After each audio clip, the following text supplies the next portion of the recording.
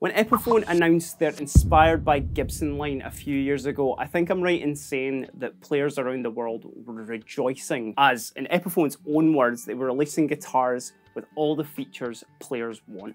Obviously the main thing was to bring these two names even closer than they have been before and to get the specs in a kind of similar ballpark. The Inspired by Gibson line is quite vast so I'm not going to go over all of those guitars today but what I am going to focus on is just one core acoustic model and that being the workhorse of the entire Gibson acoustic line, the J45. I won't go into too much detail about the history of the J45. We actually did a video kind of explaining the difference between quite a few of the Gibson Montana range, which is their acoustic line. But for anyone who wants a brief summary, since its creation in 1942, it has been one of the most popular, if not the most popular dreadnought acoustic guitar around the world. Fun fact as well is the 45 in its name actually refers to how much it cost at $45 when it was first released but they definitely don't cost that now. Some notable players over the years being John Lennon, Lucinda Williams, and even Slash, who's actually got his own signature J45. It just goes to show that everyone's favourite big hat guy loves the J45 as well. So let's just jump right into it because there is quite a lot of specs to cover. Now, if you do just want to hear the difference between these guitars, the video is split up into chapters so you can just jump right there if you do just want to hear the tones. So of course the two models that I've got in my lap right now, this is the Epiphone inspired by Gibson J45 and this is the Gibson 50s J45. I've not went for a standard just because there's a couple of features that are actually quite similar between the two of these. With the standards as well, there's similar sort of features across the board, so it's not going to be too different. Mostly just the neck shape, some of the hardware and the tuners, and really that's the main difference between the standard and the 50s and the Gibson model. Both, of course, going for that iconic J45 sloped shoulder dreadnought shape, which just means that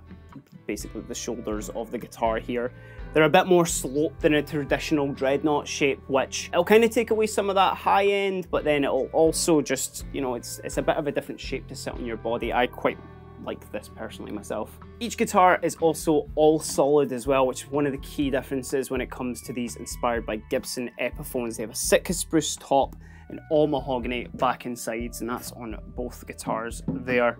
They also share a very similar scale length of 24.75 I've got a 12 inch radius and of course I've got 20 frets if you kind of fancy going up to the dusty end there.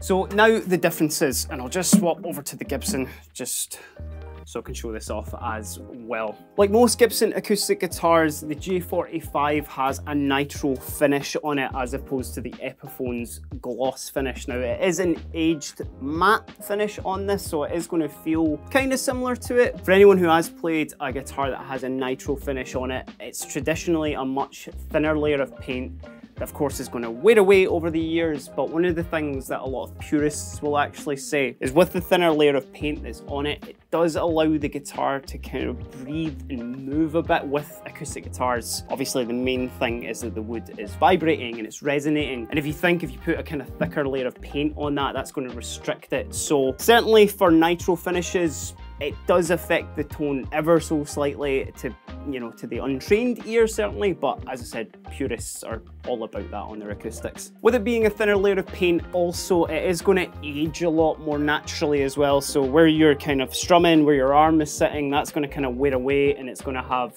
like a nice kind of like natural relic job over the years. But of course, with it being a thinner paint too, the kind of structural integrity of I guess, the top of the guitar. It's a little bit more susceptible to bumps and dings, whereas obviously with a gloss finish, that's going to stay like that pretty much throughout the entire guitar's life, and it is going to be a little bit more durable, especially if you're, you know, taking this out to gigs, if you're throwing it in the back of a van, or if you've got quite an active house with, you know, say pets or children running about. Keeping with the body in particular, the bracing on the inside of the guitar. Now, this is obviously quite a deep topic when it comes to anybody who's really, really into acoustics. To kind of keep it nice and simple for anyone who's not really too in depth with that, the J45 has got what's known as an X bracing, which is basically just strips of wood that are underneath the top there, and that's what obviously keeps the guitar from imploding in on itself. The Gibson opting for the more premium hand scalloped X bracing, which will be done by people at the Montana factory,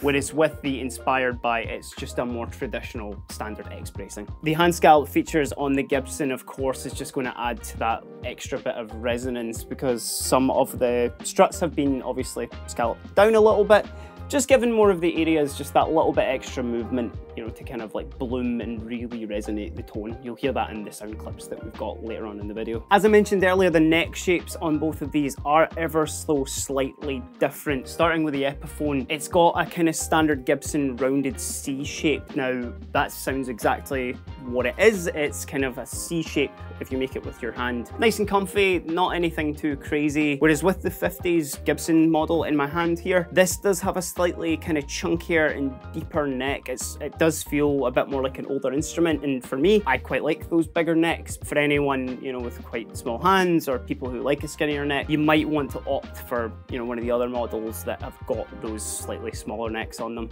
Worth noting that the standard Gibson J45 has got a slim tapered neck. It's kind of a C shape as well well. So it's going to be very, very similar to this and keeping with the neck as well. The Gibson model opts for rosewood, whereas the Epiphone opts for an Indian laurel fretboard on there. Both have got really similar qualities to them, but of course the rosewood is the slightly more premium option as well, and certainly is, I guess, the better wood, if you were going to say. Moving up to the headstock, and I'll grab the Epiphone for this one again. We have got, obviously, the most visually sort of different thing about these guitars and that being the headstock. Of course, this not changing anything drastically about the guitar, this is purely a personal preference and of course, naming the headstock is quite important to some people. Both guitars opting, of course, for that traditional Gibson three in a row tuning pegs on both headstocks. They're going for that kind of classic cream button look as well. I think this is really, really, really cool. The Epiphone opting for just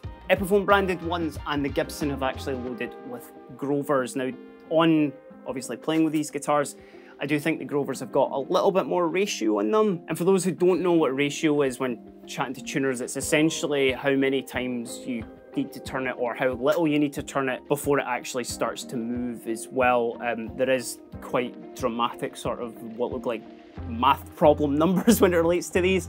I won't even bother getting into that. From using both of them, the Grovers are definitely a little bit more sensitive to obviously those small adjustments. Definitely the Epiphone isn't letting out on the tuning aspect of it, it is holding its tune rather well. One of the last few features before we dive right into the sounds as well is just to make a note of the electronics that both of these guitars are loaded with. Now they both do have pickups in them right away and the controls are discreetly kind of hidden right under the sound hole there.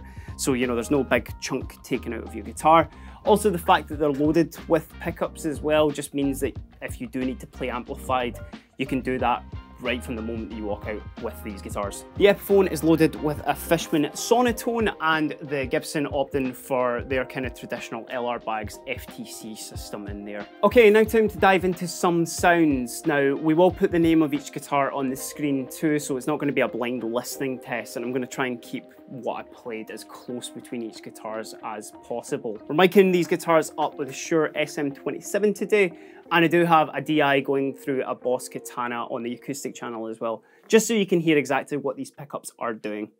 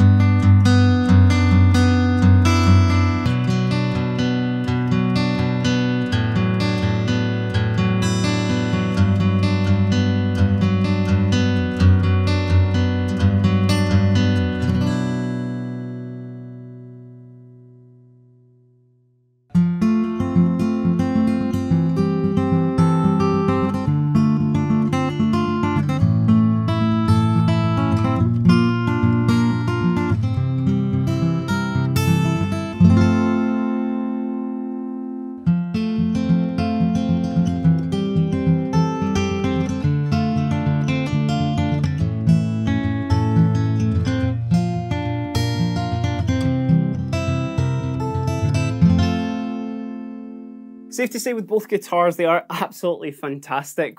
One of the things in Guitar Guitar HQ that we all really like to do is obviously when I take a nice guitar out of its box, is we all have a go and we all give our opinions to each other and everything like that. And we all were absolutely blown away by this Epiphone. It's just, it's such a lovely guitar to play, and especially for obviously the price bracket that's coming in at, it's absolutely fantastic. But I guess the real question is, is the Gibson that much better? Well, I think it really depends because one of the main things when it comes to Gibson acoustics and what a lot of people will tell you and what you know we say to customers as well is it's it's a lot about feel as as much as it is with sound. So when I say something feels great, you know, that's completely subjective. For me, it may feel great, but for you, it may feel completely different. There is, of course, the subject of where they're built to. Now, obviously, US made guitars, they're still one of the kind of leading builders in the world, and a lot of your best guitars will come from there. I think in today's landscape, it's it's not really right to say that any import guitars are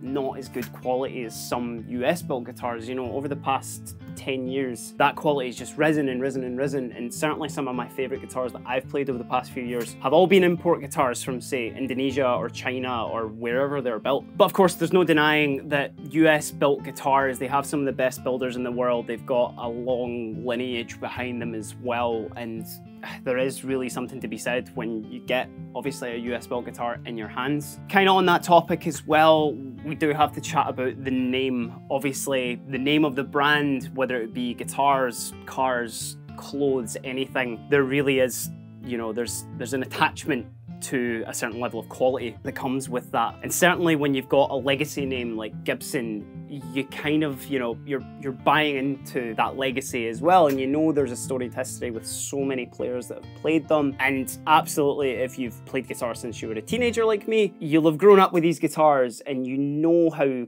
sort of famous and how iconic they are. So there is absolutely something when it comes to the name. And as we ask all the time, who are these guitars for? Now, I think this one is maybe a little bit more nuanced because say you're a gigging guitarist, say you are out you know, four or five times a week, whether that be playing pub gigs, whether you're touring, whether you're throwing your guitar in the back of a van, whether you're just jumping on the tube or a bus or something to go down to your next gig. Certainly, if you have a fancy four figure price guitar, you're going to be a little bit more hesitant to maybe take that out. You're going to be a bit more worried about it. And, you know, maybe you just do want something that's going to be a total workhorse and it's just going to sound and not let you sound really good and not let you down and just, you know, give you everything you want. And if that's the case, I would absolutely implore you to check out the Epiphone. Whereas on the other side, if you are, you know, looking for that absolute dream guitar and certainly something that you've maybe saved up for, for or you can you know you can afford this kind of guitar then the quality and the lineage and just again the feel of a Gibson is just it's it's really nothing kind of you know nothing other than maybe the inspired by Epiphones can compare to because as I said, there's just something about these guitars that the quality and the lineage, and I do sound a bit like a broken record, but I mean, that's the reason why they've been in business since, you know, the 40s, the 50s, is there's just, there's nothing quite like them. But of course, what I would definitely say, and this is, if there's any takeaway from this video, I would absolutely implore you, just if you are in the market for a J45, a J200, basically any Gibson acoustic that has an inspired by counterpart, even if your heart's set on the Gibson, even if your heart's set on the Epiphone, I would encourage you to try both of them just to see exactly how the different feels and the different sounds and the way that they react to you just to see exactly what that does. You may be surprised on what side you kind of land on, or even just to have that reference in your head because obviously guitar is such a interactive medium you know it's you put your hands on it and you strum it and you play them you know you're not really going to have that reference until you get them there and certainly I don't think anyone in a guitar guitar will frown at you for wanting to try both just to see exactly what it's like but really what I think I'm trying to say is I think Epiphone absolutely nailed it with what their mission statement was, and that was to make you a guitar with all the features the players want. But what do you think? Have you tried the Epiphone inspired by Gibson line, whether that be the acoustics or the electrics? Let us know down in the comments, and as always, give us a like and a subscribe down there. I have heard through the grapevine that that does help a channel, but why don't you do it and let's see if it'll actually work and you know and for every like on this video of course I'll play a G to a C to an A minor on all of these guitars. But until then, I've been Keiran. Have a great day.